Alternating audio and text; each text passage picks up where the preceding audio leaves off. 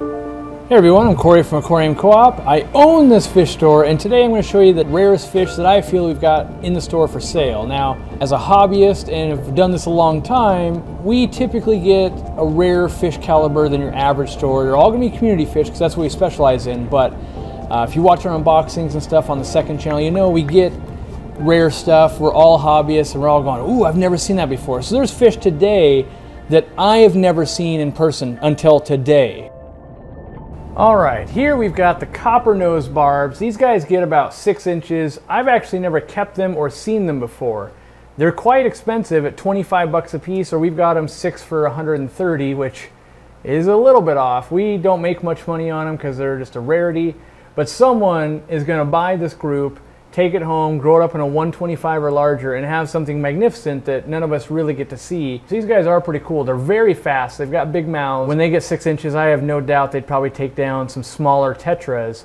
But they'd be fun to feed uh, freeze-dried krill and bloodworms and all of that too. And I think they could be a decent cull uh, tank. If you're breeding guppies or something, you throw the guppies in there once they grow up a little bit, and I bet you they would devour them. Keep them with things like rainbow fish and, and like bala sharks and and other things that'll be quick to the food. I always mention that because too often people just buy based on looks and don't realize this guy is going to starve out the other guy and that's never fun, especially when you're buying real expensive fish. All right, next up we're in the quarantine room because the last batch sold out, but these are the mudfish. Now they got a crazy mouth appendage that reaches out and grabs food. What you're seeing in the tank right at this second is a lot of live baby brine shrimp. They like to eat that. Um, I don't know a whole lot about these because I haven't kept them yet. They're kind of a, you know, a, a, well, I guess a rare fish. That's why we're doing it. So I have no idea how they spawn, and I don't even know what we're selling them for. I just know we've sold out. Robert uh, brought them in, and they've been a big hit since we did the unboxing. And there's not a whole lot of info online, and so they're just kind of a cool fish that someone like me would buy. I would go in there and I would, I would go, I haven't seen these. Let me see if I can keep them alive cool brown derpy fish that uh, you know you probably fall in love with long term. They don't seem to be too aggressive with each other, but you know who knows? Maybe with uh, with age, they mature out and try to breed. All right, in this tank we've got the mustache Danio. This is something I hadn't seen in person. I've had people request them. I've seen them online. They look cool, but basically they've got their barbels that hang down way too far, and they look just crazy they kind of look like you know those might be the the little fins on a gourami or something but they hang down they've got that nice mottled pattern to them and yeah they're nine bucks a piece so they're not cheap but a school of these is not something you see every day.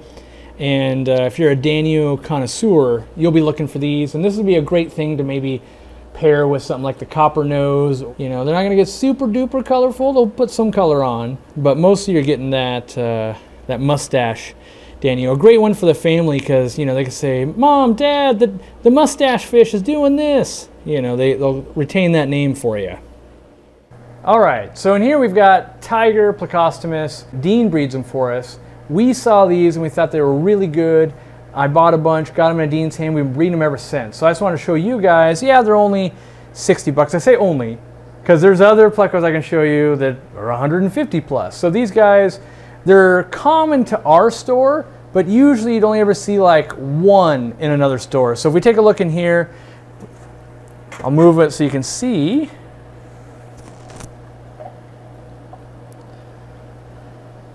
Come on out, guys. There you go.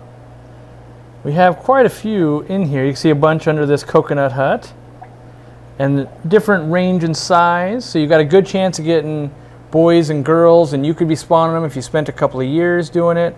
We've also got the Apistogramma Super Reds, or Fire Reds in here, and some uh, Habrosus corydoras. So they, they can cohabitate in the warmer temperatures with the Apistos, which is nice.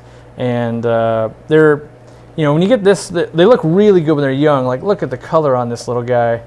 And, uh, you know, they're, they're safe in planted tanks outside of sword plants. You know, don't put them with your swords. Any plecos with swords usually not a good idea because they'll eat them. But you know, that guy you might be like, hey, 60 bucks for that. But you might have a small tank right now. They grow pretty slow, so some people would actually be looking for the smallest one or enjoy watching it grow. Some people will be trying to breed them. They want the biggest ones they can get a hold of right away. But as you, you know, harass them, they're going to lose their color. Just a cool pleco that I think you know most stores should carry. They're relatively easy to take care of. They like to eat a lot of meat and they're not, uh, being that they're locally bred, they come in nice and fat from Dean as opposed to, can be a little bit gaunt from a wholesaler sometimes. And then right here, this guy just looks cool. Green Phantom Pleco. Also the high fin variety. So that guy's $85 as a comparison. And then if we move right into it, this is actually another one of the fish. We have the black rams, the midnight ram, as Dean calls it. Now, He's been stuck at home from COVID the whole year. He's been cranking these things out. So if you can get them, get them now because once the once the restrictions are off, Dean and I are traveling and we won't be spawning very much at all. So these guys, he brings them in, they sell. I actually was talking to Dean yesterday while we were working.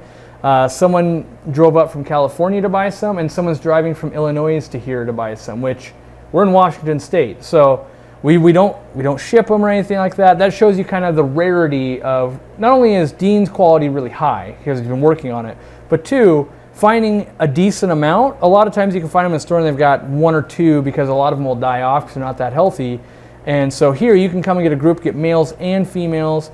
They're incredibly hard to sex because of the black blocks all the normal signs you see. You kind of go by body shape, but if you were going to attempt to spawn these, buy at least 12. And I know they're $35 each, and that's crazy talk. But if you just want to keep them, buy very few. But if you're looking like, I'm going to take these back to another state, spawn them, sell them, make money, don't do all that driving or flying with only like a pair or something. Get 12. Because even Dean will lose some. They can get very aggressive with each other sometimes. And so, you know, as you invest that time, make sure you do it right.